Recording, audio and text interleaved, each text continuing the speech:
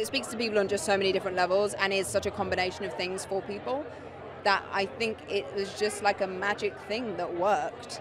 And because people still care so deeply about it, it hopefully will continue to, to speak to people. So I've been to Mexico City and New York, LA. I was supposed to go to Japan. Then we're here in LA. Then we go to London and then Shanghai. And then home for Christmas. It's a lot, and it's and it's funny too because because fans from different countries are different, but still you just feel that love. It's wonderful.